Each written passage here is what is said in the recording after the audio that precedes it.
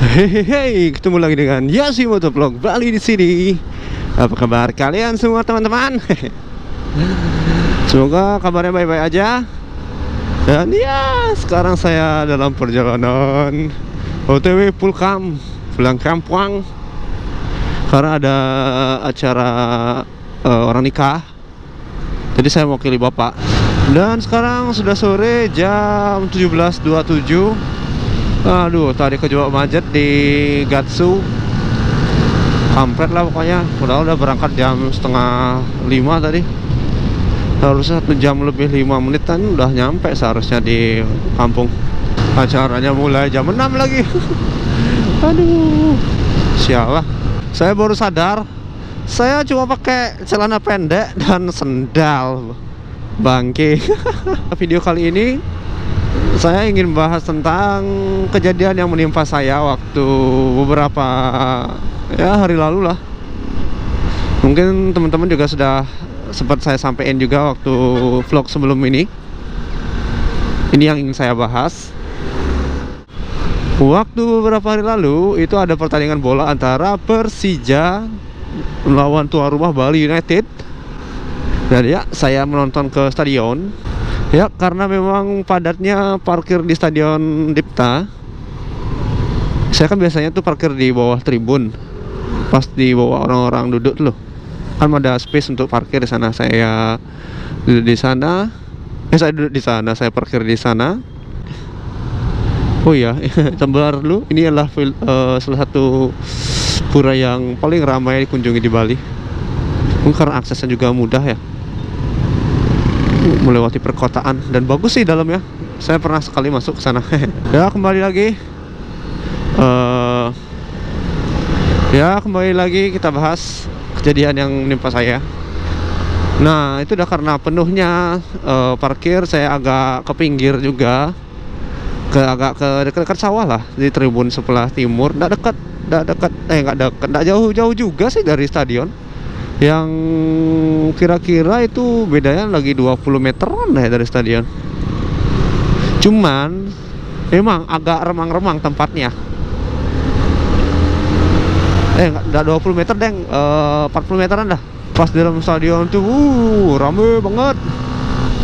Dan ternyata ada oknum yang melakukan tidak kejahatan dan helm saya menjadi incaran ternyata aduh. Ya memang sih itu helm bawaan dari helm sabernya dari motor saber. Cuman ya gitu itu kan ya lumayan. Bersejarah tuh coy. Itu saya ngawalin vlog menggunakan helm itu dan di dalamnya juga ada mikrofon mikrofon Xiaomi nya ya hilang lah Yang tersisa ya hanya ini nih. Nanti saya liatin nih. Dan ya sekarang sudah ada di rumah. Jadi saya lagi sama anjing-anjing saya. Dia ngantuk. Uh, dia ngantuk juga. Hai. Udah. Jadi ya ini adalah sisa dari helm saya yang dicuri. Ya beginilah. Ada kenangan disisakan oleh si maling.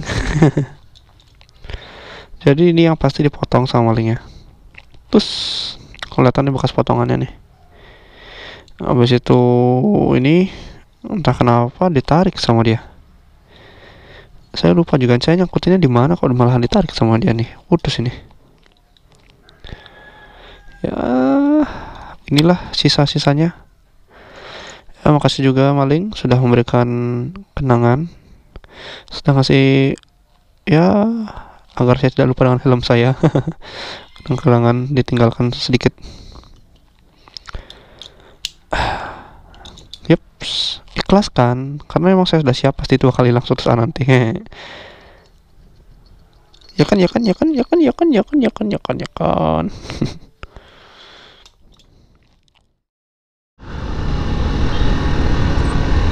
saya sudah kehilangan helm itu udah dua kali ya Pertama yaitu helm Ink Freedom dan itu lebih tragis lagi. Itu baru eh, itu baru itu baru beli dua hari. Ya second sih, cuman dia di Bali itu kan Ink Freedom tuh ya dibilang helm nambah kegantengan. Lu punya helm Ink Freedom pastilah harus diteng-teng ke mana-mana tuh harusnya. Karena emang jadi incaran favorit para maling-maling. Saya udah lima kali ke sana ke stadion Dipta dan tidak pernah hilang sama sekali tapi tumben hilang. Karena salah saya juga sinarnya agak remang-remang tempatnya.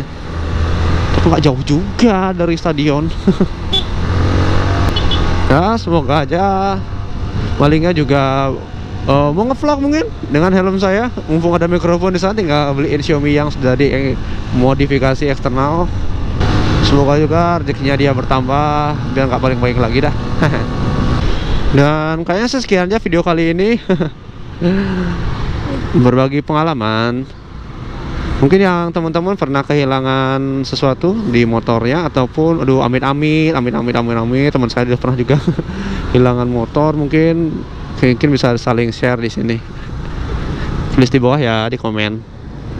Oke itu stadion Bali United Dipta Kapten Dewan Dipta. Jangan lupa di like comment share and subscribe ya. And thank for watching Yosi Motovlog Bali pamit dulu. Dan selalu hati-hati jalan guys. Bye bye